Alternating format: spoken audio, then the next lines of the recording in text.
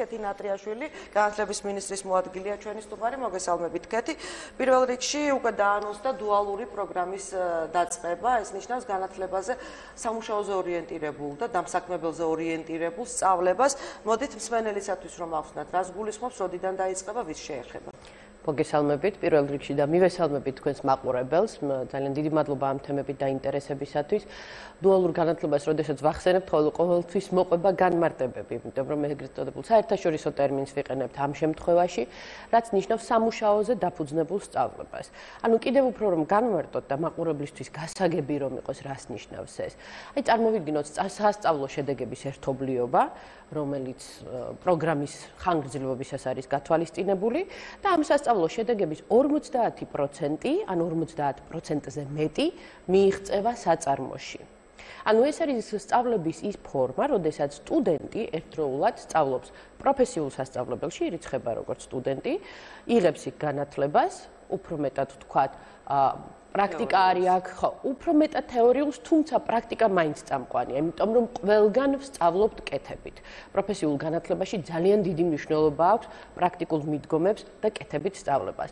ხოლო დანარჩენი 50% ან მასზე მეტი კი უკვე საწარმოში მიიღწევა საწარმოს თვითონ საწარმოს, ანუ კომპანიის მაღალკვალიფიციური სპეციალისტების ჩართულობით და სტუდენტები თან სწავლობენ, თან აკეთებენ, ანუ პროდუქციის შექმნაში იღებენ მონაწილეობას და ისინი ეცნობიან დამსაქმებელსაც. კეთი, მოდულური სწავლების სისტემა იყო აქამდე დანერგილი. მოდით ცოტა უფრო რო გავშალოთ თემა. 2013 წელს დაიწყო რეფორმა, თუმცა თავიდან დამსაქმებლების იყვნენ ჩართულები, მაგრამ სწორედ ბიზნესიდან ვიცით ჩვენ რომ იყო მათგან ასეთი პრეტენზიაც რომ ნაკლებად ვართ ჩართული და არ მზადდება ის კადრი, რომელიც ჩვენ უშუალოდ გვაინტერესებს და გვინდა. შემდეგ მოდულური სწავლება დაინერგა. მე ვიცი რომ მოდულურიც გარკვეულწილად სწორედ დამსაქმებელთან ორიენტირებული პროფესიები და სასწავლო პროგრამები იყო, დუალური კიდევ უფრო ახლოებს, რა განსხვავებებია რო ახსნათ? სამუშაოზე დაფუძნებულ სწავლებას და პრაქტიკაზე ორიენტირებულ მიდგომას ვიყენებთ ნებისმიერ შემთხვევაში. ახლა რომ წარმოვიდგინოთ ესე, მაგალითად, აი ევროკავშირის წევრ ქვეყნებზე რომ ვისაუბროთ, დაახლოებით 24 წევრს აქვს სამუშაოზე დაფუძნებული მიდგომა, თუმცა სხვადასხვა მეთოდოლოგიის გამოყენება შეიძლება. მოდულური მიდგომა არის მოქნილი მიდგომა, ეს არ არის საგნობრივი, სადაც ჩააბარე პროგრამაზე და დაიწყე. მოდულური გამოიყენება, დიახ, მოდულურის დანერგვა დაწყებულია. ეს მოდულური პროგრამები შემუშავებულია თვითონ დამსაქმებლების ჩართულობით. 2013 წლამდე ეს მიდგომა არ გამოიყენებოდა. შესაბამისად, ევროკავშირის დახმარებით ჩვენ დავნერგეთ სპეციალური მეთოდოლოგია, რომლის მეშვეობითაც დამსაქმებლები იღებენ პროფესიული სტანდარტის განსაზღვრაშიც მონაწილეობას, ანუ ხატავენ პორტრეტს, თუ როგორი დასაქმ ანუ დაქირავებული პირი სჭირდებათ მათ და ამაზე ეწყობა მეორე საგანმანათლებლო პროგრამა და თვითონ საგანმანათლებლო პროგრამის ჩარჩოს დამტკიცებაშიც დამსაქმებლები იღებენ მონაწილეობას იმისათვის, რომ დავწმუნდეთ, რომ სწორედ ისეთი პროცესები ხორციელდება საგანმანათლებლო ურთიერთურთიერთცეში, რომელიც მას კვალიფიციურ კადრს ვისაუბროთ 2013 წელს დაწყებული მოდულური სწავლების პროგრამის შედეგებზე, ანუ დავასაქმეთ ეს ხალხი, ვინც პროგრამის ფარგლებში გადამზადდა. 2013 წელს დავიწყეთ შემუშავება და მიდგომების დანერგვა. შესაბამისად, შარშან უკვე მივიღეთ სტუდენტები მოდულურ მიდგომაზე. შედეგებს სწორედ ეხლა ვხედავთ, იმიტომ რომ შესაბამისად მეტნაკლებად გაახანგრძლივა ამან თვითონ პროგრამის ასე ვთქვათ, ვადები. თავიდან იყო მიდგომა, რომ პროგრამა უნდა იყოს, მხოლოდ დავითქვათ შეიძლება იყოს 3 თვიანი, 6 თვიანი, შეიძლება იყოს წლამდე, მაგრამ იყო ძალიან მოკლევადიანი.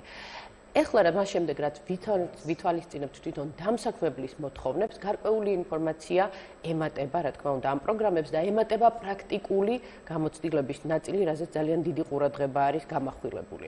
ორივე მიდგომის შემთხვევაში დამსაქმებელზე კეთდება აქცენტი, თუმცა დუალური, რა თქმა უნდა, კიდევ წინ გადადგმული ნაბიჯი არის. ახლა ახსნათ ჩვენთან თქვენ იწყებთ საპილოტე პროგრამაზეა ლაპარაკი. როდიდან დაიწყება? რატომ შეირჩა რეგიონების სასწავლებელი და მაყურებლისათვის ვიტყვი რომ ახალციხეში წინამძღვრიანთკარში სენაქსა და კაჯრეთში მდებარე პროფესიულ სასწავლებლებში მოხდება მომზადება სოფლის მეურნეობის მიმართულებით, რატომ შეირჩა ეს დარგები და როგორ აპირებთ იქ განახორციელო? ამ კუთხით ეს არის სოფლის მეურნეობის მიმართულებები, ამ ფერმერებიდან იყო მოთხოვნა მე რაღაც ესე ჩვენ გვაქვს ახლა ვეკეთვით დიდი მხარდაჭერა გერმანიის საერთაშორისო თანამშრომლობის ორგანიზაციიდან და ასევე შვეიცარიის საერთაშორისო განვითარების აგენტო არის ჩართული გაეროს განვითარების პროგრამა. და მიზანი არის რომ ჩვენ სწორედ ცოდნით და ახალი ინფორმაციით შევიდეთ სოფლის მეურნეობის თემატიკაში და იქ გავავრცელოთ ცოდნა იმისათვის, რომ რეგიონებში მცხოვრებ მოსახლეობას, რომლებიც დაკავებულები არიან სოფლის მეურნეობით, მივცეთ შესაძლებლობა, რომ გააუმჯობესონ საკუთარი მეურნეობა. გადავიდნენ უფრო კომერციულ მეურნეობაც იყოს მანის სწავლოს და ესოდნა შეიტანოს მე თავის პატარა ფერმაში, რო ვთქვა. ესეც შესაძლებელია, თუმცა ასევე ვაკვირდებით, რომ უკვე მზარდი არის ინტერესი თვითონ კომპანიების მხრიდანაც, აი მაგალითად, წელს საპილოტოდ დავიწყეთ სამი მიმართულების პროგრამაზე მუშაობა, ეს არის მეცხოველეობა, მეხილეობა და მეღვინეობა. აი მეღვინეობა რომ ავიღოთ კონკრეტულად ვთქვათ მაგალითად, თითქმის ყველა მსხვილი კომპანია დაინტერესებულია კოლეჯებთან თანამშრომლობაში. ისინი მზადარიან მიიღონ კადრები, მზადარიან მიიღონ მონაწილეობა ამ კადრების განათლებაში და აღზრდაში, შესაბამისად თვითონვე უზრუნველყონ თავიანთი მაღალკვალიფიციური სპეციალისტების ანაზღაურება, რომ აი ამ საგანმანათლებლო პროცესებში იყვნენ ჩართული და სტიპენდიაც უზრუნველყონ იმ სტუდენტებისათვის, რომელსაც მოუწევთ, თქვათ, ნაწილი კოლეჯში მისვლა, შემდეგ საწარმოოში მისვლა. დუალური შემთხვევაში მე რამდენადაც ინფორმაცია მაქვს, ეს არ ვიცი ახლა რატომ ახალგაზრდები წარმომიდგენია, მაგრამ მე მგონი ასაკიან ადამიანებსაც შეუძლიათ ეს გადამზადება. ასაკი შეზღუდული არანაირად არ არის ნებისმიერი ასაკის პირს, თუ კი დაინტერესდება პროფესიული განათლებით, მოდულურზეც და დუალურზეც შეუძლია და ასაკი არ არის გარკვეული რო. თქვა და ანაზღაურება როგორი იქნება? სახელმწიფო ანაზღაურებს მასწავლებას? სახელმწიფო სასწავლებლებში, სახელმწიფოს მიერ ან მონაწილეობით დაფუძნებულ სასწავლებლებში სახელმწიფოვე ხარ ხარავს ყველა სახელმწიფოებია ყველანი. დიახ, ეს 4 საპილოტე რეჟიმში ჩართული სასწავლებელი ყველა სახელმწიფო. ასაკიან სახელმწიფო აუნაზღაურებს და ახალგაზრდასაც აი ყველას შეუძლია. და მათ უბრალოდ უნდა მოგმართონ განცხადები. ისინი უნდა დარეგისტრირდნენ, რეგისტრაციის პროცესი ამ ეტაპზე დასრულებული არის. რეგისტრაციის შემდეგ ესეც პირველად ხდება ჩვენ სისტემაში, რომ დამსაქმებელი ერთვება თვითონ სტუდენტის შერჩევის პროცესში, ანუ დამსაქმებელი ჩაატარებს გასაუბრებას. ანუ პოტენციალურად დასაქმებული კადრი გამოდის. დიახ, დიახ, იმიტომ თვითონ ეს გასაუბრებაც არის აი დაახლოებით მსგავსი პროცესი, როცა აი დამსაქმებელი, როდესაც ესაუბრება პოტენციურ აქირავებულ მუშახელს, ანუ სამუშაოზე აყვანის პროცესს ძალიან გავს. რა თქმა უნდა, ვერთვებით სასწავლო და საგანმანათლებლო პროცესების მხრიდანაც და ერთობლივად კერძო სექტორთან ერთად, კომპანიებთან ერთად ვახორციელებთ ამ პროგრამას. და რამდენი ახალ რამდენი კადრი აიყვანეთ მოსამზადებლად აი ამ ეტაპზე ამ დუალური პროგრამისათვის საინტერესო. ჯერჯერობით რეგისტრაცია ახლა დასრულდა, რამოდენიმე დღის წინ ჩვენ გვაქვს მონაცემები, რომ საერთოდ სისტემაში, ანუ მზარდი არის დაინტერესებულ პირთა რაოდენობა და დარეგისტრირებულია სადღაც 20000-მდე პირი ჯამში მოდულურზეც და დუალურზეც და საკუთრივ პროგრამებზეც რომლებიც ხორციელდება სისტემაში. აქედან დუალურზე ამ სამი მიმართულების პროგრამებზე შევსებულია სრული რაოდენობა და მცირე კონკურსიც გვიფიქსირდება. შესაბამისად, სამ პროგრამაზე დაახლოებით ვიტყოდი, რომ სადღაც 100-მდე განაცხადი არის უკვე. ანუ 100 ადამიანი უნდა მოვამზადოთ? თუ იქიდან გაცხრილვა მოხდება? გაცხრილვა მოხდება დამსაქმებლის ინტერესების შესაბამისად ჯერ, დამსაქმებლის მიერ შერჩეული სტუდენტი მიიღებს უკვე მონაწილეობას პროფესიულ ტესტირებაში, რომლის გადალახვის შედეგადაც უკვე სახელმწიფო უზრუნველყოფს მის დაფინანსებას პროფესიულ სასწავლებელში. ხოლო დამსაქმებელი წანაზღაურებს მე დამსაქმებელი და პრაქტიკას მის ბაზაზე მეღვინეობის კუთხით რა თქმა უნდა სწავლა არის. ეს მხოლოდ პრაქტიკა არ არის. ისინი ისწავლიან და თან პროდუქციის შექმნაში მიიღებენ მონაწილეობას კომპანიის ბაზაზე. მეღვინეობის კუთხით მთლიანად სექტორი კერძო სექტორი უზრუნველყოფს სტიპენდიას სტუდენტებისათვის. გვაქვს ასევე გაეროს განვითარების პროგრამის დახმარება ამ კუთხით, მისათვის რომ უზრუნველყოფილი იყოს სტუდენტური სტიპენდიები. რამდენი იქნება ეს სტიპენდია? სწავლის დროს რამდენი საერთოდ? სტიპენდიები არის განსხვავებული, თუმცა მე შემიძლიათ გითხრათ აი მინიმუმი და მაქსიმუმი. ალბათ აინტერესებს მაგრამ პროგრამის ხანგრძლივობის მიხედვით, ახლა პროგრამაც არის წელიწადნახევრიდან, თქვა 2 წლამდე შეიძლება 2 წელიწადნახევრამდე გრძელდებოდეს და ასევე დამოკიდებულია, თქვა მანძილზე, სასწავლებლიდან საწარმომდე, დამოკიდებულია სხვა ფაქტორებზეც, მინიმალური რაც იქნება, ეს არის 120 ლარი.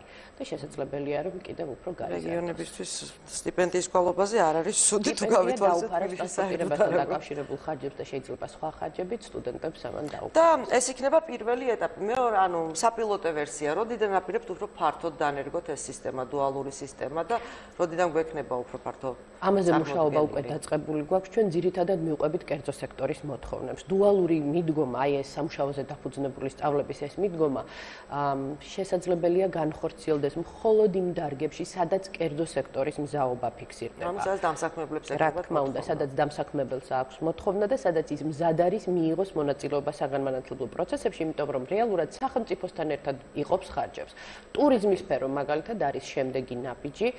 ეს არის ძალიან საინტერესო სფერო, ყველა მსხვილი სასტუმრო თითქმის დაინტერესებული არის აქ თანამონაწილეობაში და ასევე ტრანსპორტის და კიდე ერთი კითხვა ძალიან მოკლედ, მანამ დავასრულებით, თქვენ ახსენეთ, რომ ეს ხორციელდება და დაფინანსება გაიცემა სახელმწიფოს მონაწილეობით დაფუძნებულ კერძო პროფესიულ სასწავლებლებზე, მაგრამ არსებობს კერძო სასწავლებლებიც, მათი მდგომარეობა როგორია, ისინი არათანაბარ პირობებში აღმოჩნდნენ გარკვეულწილად.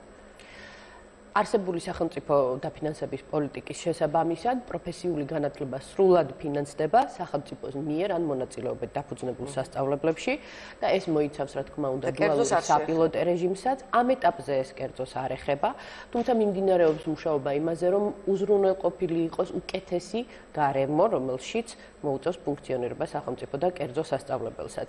გავხსენით უამრავი პროგრამა კერძო პროფესიული სასწავლებლებისთვის. იქნება ეს მოდულურ პროგრამები პროგრამებში ჩართულობა, სხვადასხვა ტიპის ტრენინგები, ხელმისაწვდომობა სხვადასხვა საგანმანათლებლო რესურსებზე, რაც ასევე აისახება განათლების ხარისხზე. არსებობს საკმაოდ ისეთი წარმომადგენლები რაოდენობა ძლიერი კერძო კოლეჯებისა, რომლებიც მომსახურებას თავაზობენ ჩვენს მოსახლეობას. დიდი მადლობა კეთინა ტრიაშვილი, განათლების მინისტრის მოადგილე იყო ჩვენი სტუმარი.